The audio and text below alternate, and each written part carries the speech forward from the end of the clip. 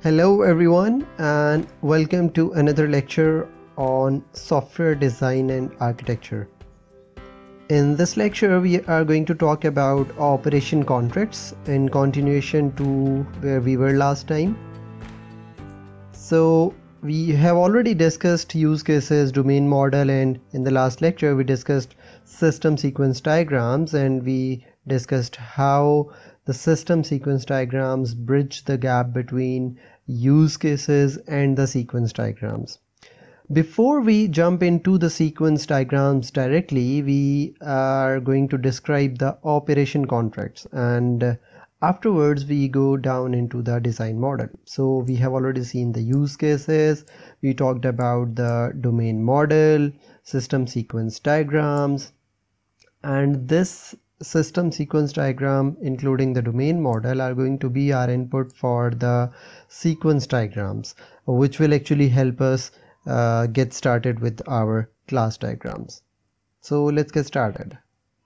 And uh, if you see our current position in the bigger picture in the context of unified process so this is where we are right now. And as we are done with the operation contracts uh, and we are done with describing what are operation contracts how we write the operation contracts and its pros and cons. Uh, we will jump into the design part where we will actually start with the sequence diagrams. But here one thing that you must notice is that uh, interactions and uh, requests that we placed in our system sequence diagram are going to be an input for the sequence diagrams. So what is going to happen is that every single request that you made in the system sequence diagram is going to result into single sequence diagram. I will explain that when we talk about sequence diagrams. Uh, but additionally, the operation contracts that we are going to discuss now are going to be input in the in the in the form of pre and post conditions. So uh, yes, exactly. In operation contracts, we are going to identify what are different uh, preconditions and post conditions for a particular uh, particular operation on the system. So to understand more clearly, uh, we already know that use cases are the one of the primary mechanism which are used to describe the system behavior. And uh, the the behavior is described in pretty much details. But sometimes a more detailed description is required. And for for that detailed description we actually use uh, the operation contracts. And as the operation contracts uh, define and describe the pre and post conditions so we use them and we specify and describe our use cases in in additional details. So that we define that what will be the pre and post conditions as a result of the operations that we perform on the system. Now if we talk about the relationship of domain model and operation contracts we know that domain models are actually the visual representation of conceptual classes of the of the real world object. Whereas the contracts actually describe the detailed system behavior in terms of state changes to objects in the domain model after a system operation has executed. Which means that if some operation is executing, there would be some change in the state of the object in our domain model. So that change in the state is represented and described with the help of the operation contracts and one disclaimer is that that you if you really do not need such details you can keep it agile. That means if you want to keep your process fast and quick so you can uh, avoid writing and and uh, adding the operation contracts to your process but if in case you really need some additional detail and understanding of the system uh, you need an additional detail of the use cases you really need to monitor the pre and post conditions very closely then you can go with the operation contracts. To start working with the operation contracts we must start looking at the system operations. So system operations are actually in, in, in invoked as a result of incoming system events so whenever an event occurs, we call system operation in response. To understand that better, let's have a look at this system sequence diagram that we created earlier. So in this case, uh, the input system events actually invoke the system operation. So for example, the system event enter item invokes a system operation called enter item and the system event called end sale invokes the system operation called end sale. So whenever an event occurs on a system, as a result in response to that we uh, invoke a system operation. And for every system operation like make new sale enter item id and sale and make payment we can write the system operation contracts. The concept of system operations is same as in object oriented programming when we say that the message foo invokes some other method in response so you call a method a and from within that method you call a method b. Now let's just look into the detailed template of how we can write the operations contract. To get started we can have the name of the operation so it says the name and the parameters that we are going to use in that operation.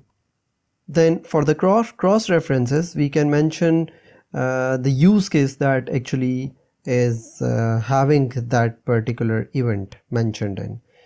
And then finally we come to the main point that is called the preconditions and post conditions so if there are any particular assumptions that we want to mention which must be true before the execution of the operation we can define them in the precondition.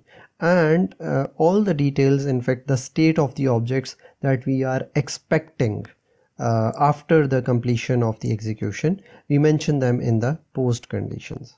So this is a very simple template that we need to follow and for every uh, for every operation in our system we can we can write a simple operations contract and to get started we can take and look uh, as an example for the operations contract of, of uh, enter item.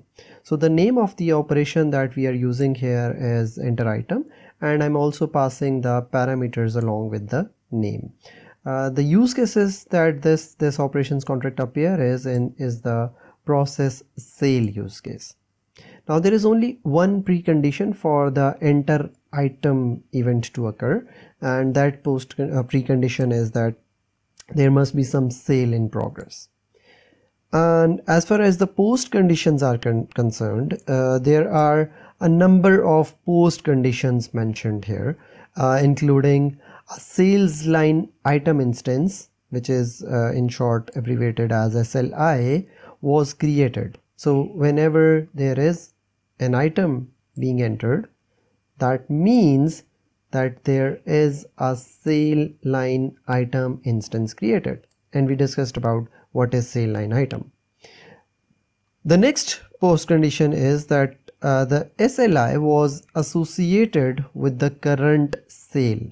That means there would be number of sale line items for every different sale.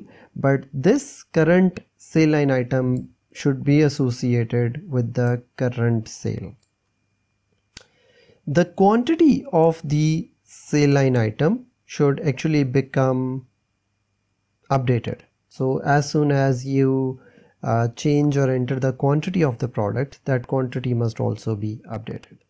And then finally the sale line item must be associated with a product description based on the item ID so the sale line item if it has the item called let's suppose a keyboard then the uh, description product description of the keyboard would and must be associated with the uh, with with the sale line item so to look in detail, the post conditions describe changes in the state of objects in the domain model. And the domain model state changes include instances created, uh, they include associations formed or broken, or if there are any attributes which have changed. So uh, for example, uh, the quantity attribute has changed. For example, uh, the instance of sale line item is created so these are actually called the uh, the the post conditions one other post condition that we just discussed about was the description of the product would be associated with the sale line item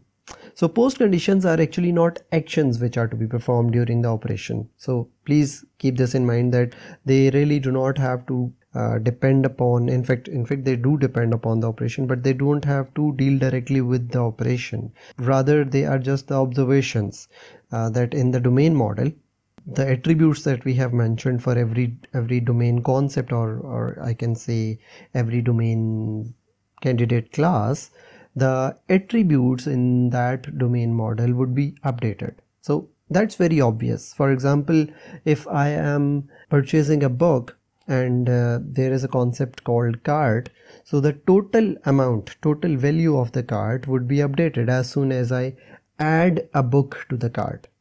So the, this total value is the attribute and the, that change in that total value is called the post condition so the better way for writing a post condition like uh, we did for the sale line item could be a sale line item was created. Instead that we write create a sale line item. So that means that post conditions are something which are occurring after the execution has completed. So that really states that you must write them in the past tense to emphasize that they are observations. Uh, they are not the operations themselves. I told you earlier as well that they are not the operations rather they are the effects of the operation. So that's why we are going to write them in the past tense